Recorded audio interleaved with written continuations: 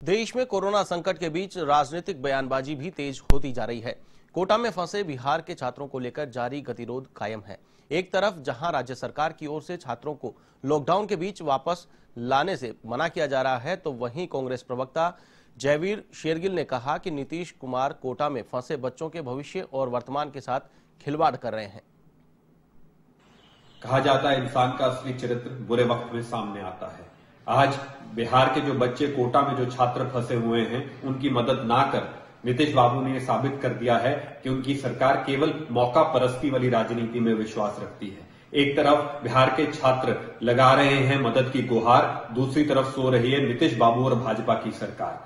आज नीतीश बाबू को उत्तर देना चाहिए कि क्यों उन्होंने इन छात्रों को भगवान भरोसे छोड़ दिया है, कि बसेस नहीं है, कि साधन नहीं है, अगर बाकी राज्य बच्चों को वापस ला सकते हैं तो वो क्यों नहीं ला सकते?